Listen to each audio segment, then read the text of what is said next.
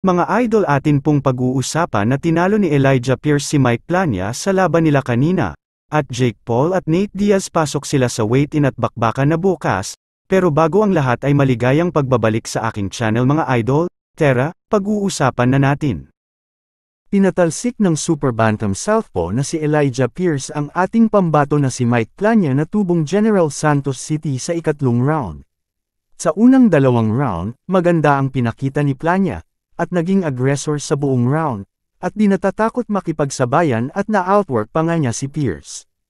Isang salpukan ng mga ulo ang nagbukas ng isang hiwa sa noo ni Plania sa unang round, pero hindi ito naging hadlang sa kanya, at nagpakawala si Plania ng maraming pasabog sa left and right hook.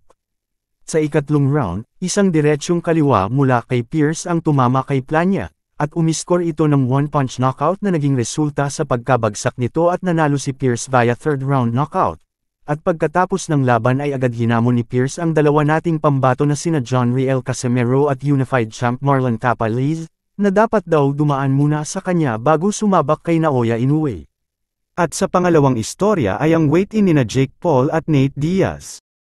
Si Jake Paul ay tumimbang ng 185 pounds habang si Nate Diaz ay umabot sa 184.9 pounds kanina lamang sa weigh-in para sa kanilang 185-pound cruiserweight catchweight fight ngayong Sabado ikalima ng Agosto, sa American Airlines Center sa Dallas, Texas, at ang kaganapan ay ipapakita ng live sa The Zone pay-per-view, ang karamihan ay sumasang-ayon na ang laban na ito ay magre-resulta sa maagang knockout, dahil matagal nang hindi sumasabak si Nate Diaz sa MMA, at kaharap niya ang isang fighter na mas bata, mas malakas, at mas sanay sa pakikipaglaban sa boxing na si Jake Paul.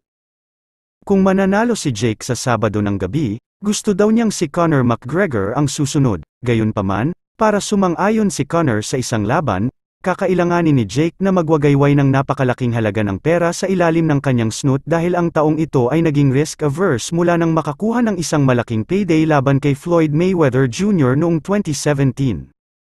At sa pangatlong istorya ay si Mike Tyson ay kinuha ng kampo ni Francis Ngano.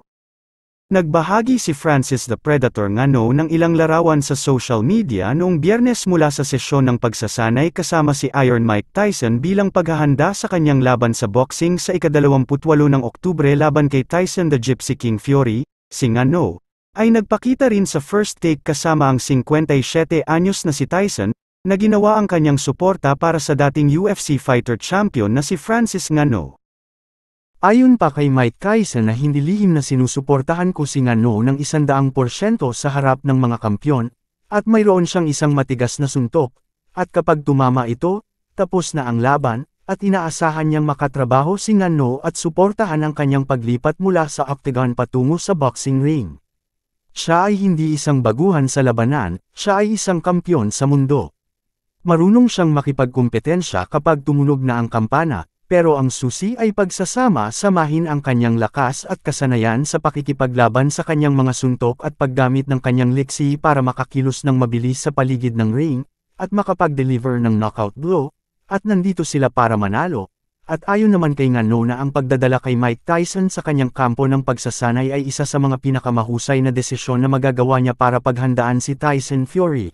At si Mike Tyson ay isang idolo ko sa esport. Ang kanyang karanasan at boxing IQ ay magiging mahalaga para maasa ang kanyang diskarte sa ilalim ng kanyang gabay para manalo sa super fight na ito. Hanggang dito na lang mga idol.